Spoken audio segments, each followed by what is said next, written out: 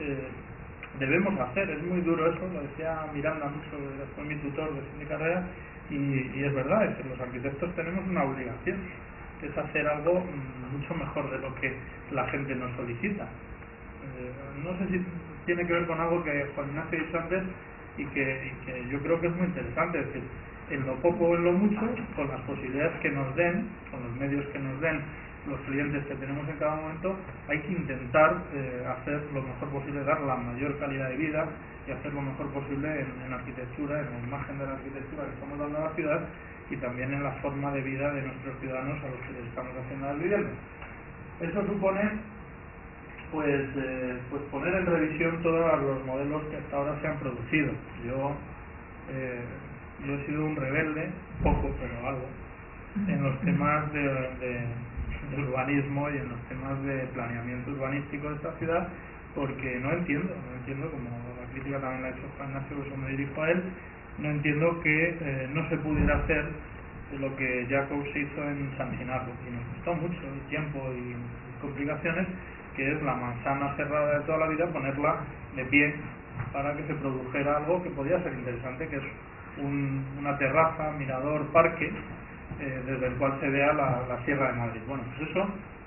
he hecho una cosa que no sé los que me habéis visto los que eh, estáis detrás de la columna, pero que es simplemente coger la caja, la, manzana cerrada y ponerla de pie. Es decir, eso que yo lo vi cuando me hicieron la primera visita, no creo que fue cuando estuve en Holanda viendo su obra,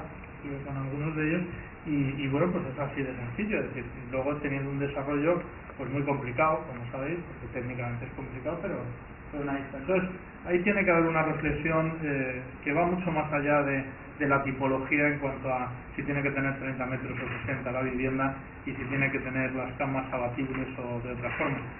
La reflexión tiene que ir en, la línea de, de, qué arquitectura estamos produciendo hacia la ciudad y por tanto qué ciudades estamos haciendo. Yo no entiendo que hayamos hecho una parte de los PAU con un planeamiento que, tiene 15 y 18 y 20 años, la mayoría, todos menos Vallecas, y Vallecas lo hemos podido variar muy poquito, no lo entiendo, no, porque si un coche varía en 20 años, tanto como estamos acostumbrados a ver cómo varía, pues normalmente para mejor, una lavadora, un todo,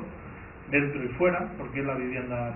y el urbanismo tiene que ser el mismo de hace 20, de hace 30 o de hace 40 años. Y ahora mismo mm, hay mucha gente que está haciendo la misma arquitectura que se hizo, pues para ponernos un ejemplo, en Valdebernardo. Valdebernardo tiene edificios que son idénticos a los que están haciendo ahora. Pues Valdebernardo es un, es un crecimiento de hace, efectivamente, eso,